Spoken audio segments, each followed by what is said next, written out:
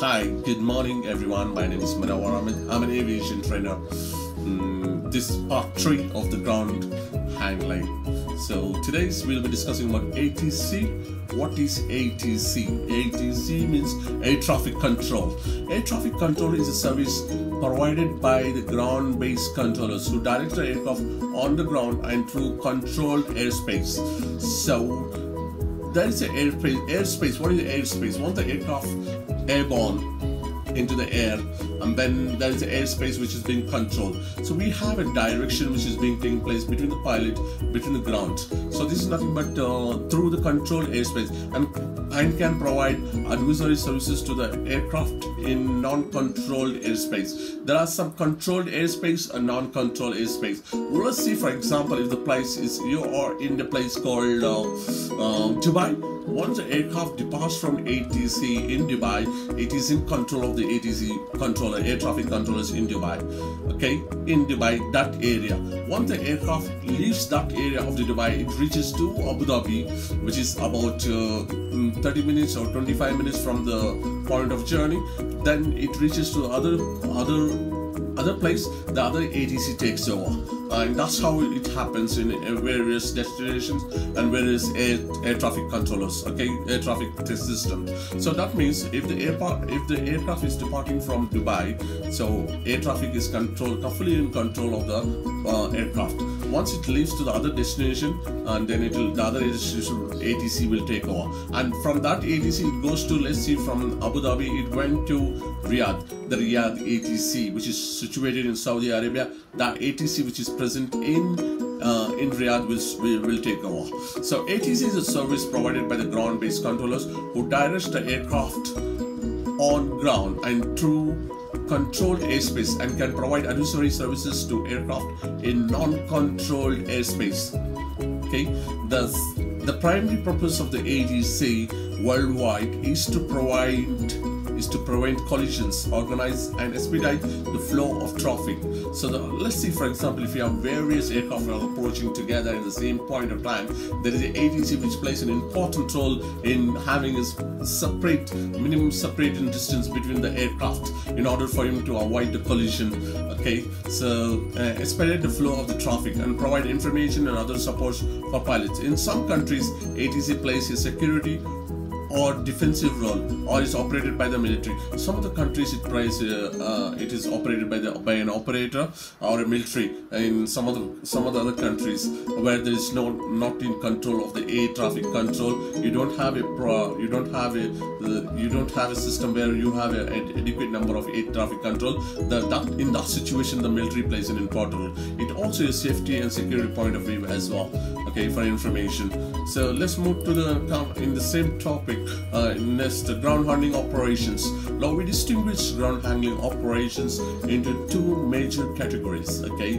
One is the airside airside means the operation which takes place all the aircraft's movements. Once you entered from the concourse from the concourse goes to the ramp from the ramp to the where the aircraft is being handled where all the activities like baggage handling cargo handling this is all air side land side is a place where before you enter it into the airport where there's a building concourse being situated where the checking is taking place. That is but nothing but the land side as well as air side okay i hope you understand this topic.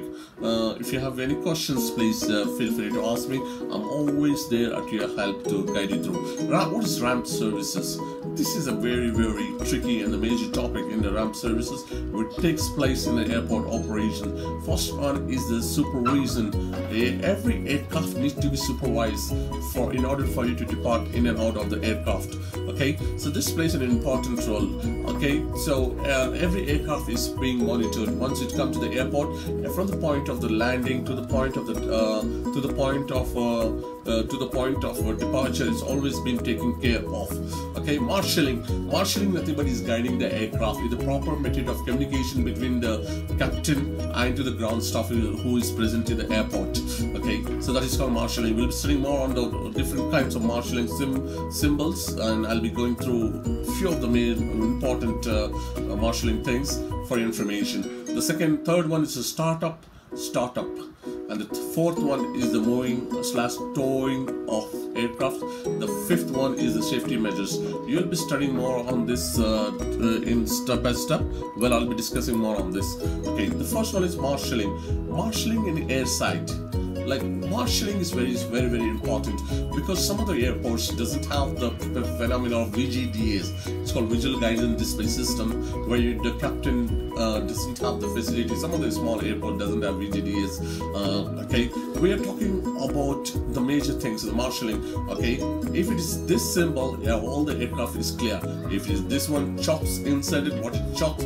We'll be studying on more on this chocks inserted, the chocks removed then uh, we have move ahead move ahead.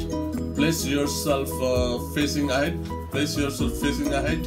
Okay we have a different symbols left right movements and then stop push back these are various symbols which is being used in the marshalling in ramp services in airside uh, so few of the symbols which will be you'll be discussing on this. Of course uh, there might if you are applying for the job of the marshaller you are asked to provide few of the few of these symbols in order for you to for you to get through. Okay it's just very relatively very simple. It's just quite a bit of a practice called uh, two three times then you'll be better used to it. So let's move to the next uh, thing for today. Uh, we'll be studying aircraft services on ramp. What are the different aircraft services which takes place on ramp? We'll be studying more on this. Please stay tuned to the next part uh, uh, part 3 of my channel. So so you'll be discussing more on this. Please stay tuned. Keep on subscribing to my channel. Keeps on liking my channel. Provide comments always feel free to contact me. I'm there to help you. Okay, this will give you the best education which you would ever come across in an airport operations as I have possessed excellent experience of the airline industry. Thank you. Have a nice day.